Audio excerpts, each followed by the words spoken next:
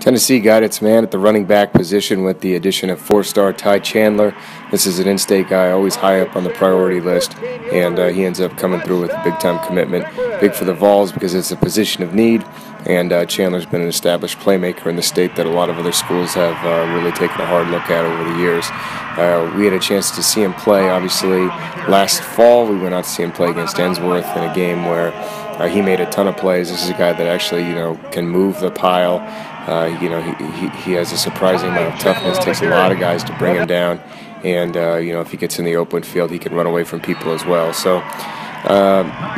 When you talk about him uh, in other aspects, he can catch the ball a little bit out of the backfield. I've had a chance to see him in camp settings uh, playing a little bit of seven on seven as well, and and uh, he does a nice job there. Kind of a versatile weapon.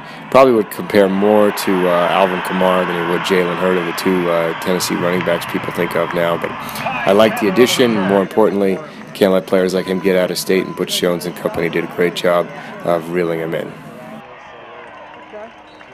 Ty Chandler on the carry.